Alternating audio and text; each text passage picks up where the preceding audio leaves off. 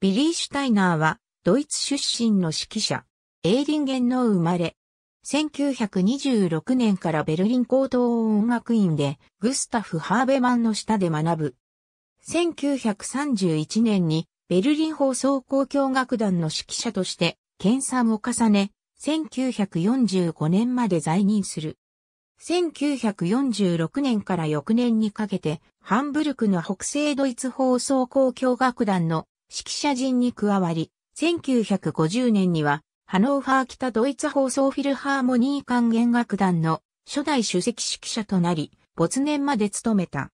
1960年代前半には日本で、読売日本交響楽団の常任指揮者として、創設機の育成に貢献した。ハノーファーで死去した。